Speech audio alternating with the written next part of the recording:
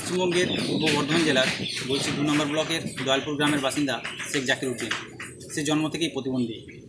গত এক বছর আগে প্রতিবন্ধী ভাতার জন্য আবেদন করেছেন কিন্তু এখনও পর্যন্ত কোনো প্রতিবন্ধী ভাতা পাননি। আপনার ছেলের কি সমস্যা?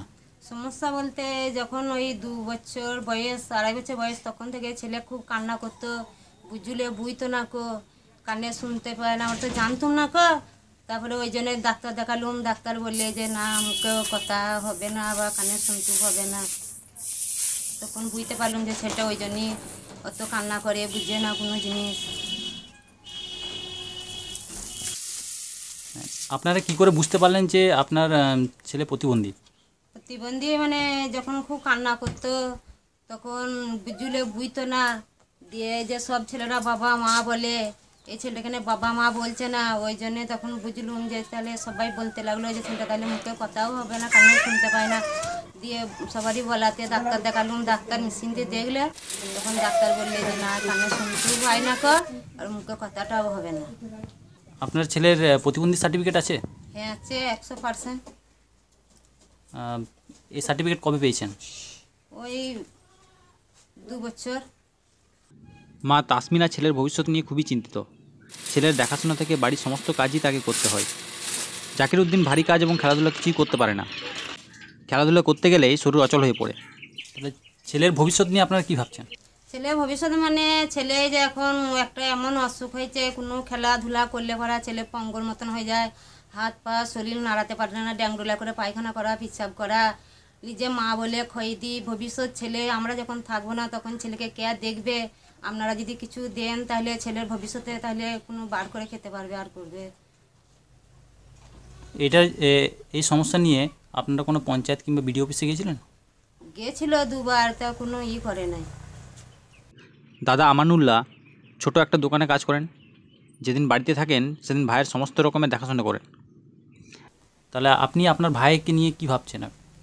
ভাবছি যে কোনো যদি ভবিষ্যৎ কিছু যদি আপনারা দেন তাহলে ভবিষ্যৎটা ওনার কিছু একটা আসবে। আপনাদের আর্থিক পরিস্থিতি কীরকম? আপনারা কি করেন? আর্থিক অবস্থা খুবই খারাপ। আমার বাবা তো এমনি জোগাড়ে কাজ করে। আমি তো লোকের দোকানে কাজ করি অল্প টাকা মাইনেতে। এবার কী করে চলবে? আমাদের সংসার চালাতে শেষ। কেনাকাটি সবই করতে হয় আমাদের চাল ফাল সবই কিনতে হয়। ভাইটা তো কিছু পাচ্ছেও না ভাইটা যদি ভবিষ্যতে কিছু পায় তাহলে ওর ভবিষ্যৎটা অনেকটা গো- ই হবে। এই গ্রামে জাকিরউদ্দিনের মতো অরূপ বাগও একই সমস্যায় ভুগছেন এবং কোনো ভাতা পাচ্ছেন না। আপনার স্বামীর কি সমস্যা? প্রতিবন্ধী। কি প্রতিবন্ধী? কীরকম প্রতিবন্ধী? কানে শুনতে পারে না কথা বলতে পারে না। কাজকর্ম করতে পারে না। কত শতাংশ প্রতিবন্ধী? আশি পার্সেন্ট। আপনার সংসার কি কীভাবে চলে? কত এই খেটে খুঁটে গাঁ গা করে দু পাঁচটা করে কাজ করি খেটে খুঁটে নিয়ে এসে ওই চালাই এইসব এ নিয়ে আপনার সংসার কি চলে? নোড়া চলে না তাও আবার ধার দিনা করতে হয়। তাহলে আপনি এ, এর ভবিষ্যৎ নিয়ে আপনি কি ভাবছেন? আমি ভাবছি যে যদি বিকার ভাতাটা একটা করে দিত মাসে মাস তাহলে তো ছেলে মেয়েদিকে নিয়ে যেমন করে হোক চালাতাম বিয়ে শাদিটাও দিতাম। এইটাই ভাবছি এটা তো কই সরকার থেকে তো কিছুই দিচ্ছে না আমাদেরকে। এটা নিয়ে কি আপনার আপনার কোনো বিডিও অফিস কিংবা পঞ্চায়েতের দ্বারস্থ হয়েছেন? হ্যাঁ আমি গেছিলাম। আমি গিয়েছিলেন? নিয়ে গেছিলাম বিডিও অফিসে আমিও গেলাম পঞ্চায়েতে বিডিও অফিসে। কিছুই বলল না। এবার কি বলব ওরা ধরা ছয় দিচ্ছে না। খালি বলছে যে আসুক তারপরে ঠিক এলে দেবো। এই বলছে। আমি বিডিও অফিস গেছি পঞ্চায়েত গেছি। বিডিও অফিসে বলেছিল পঞ্চায়েতে দরখাস্ত দিতে দুবার তিনবার দরখাস্ত দিয়েছিলাম। তারপরেও যখন বলল যে ফ্যাসিলিটি কিছু যখন আপনাদের আসবে তখন আপনারা ঠিক পাবেন। কিন্তু এখনও পর্যন্ত তো কিছুই আমাদের ই পাইনি আমরা।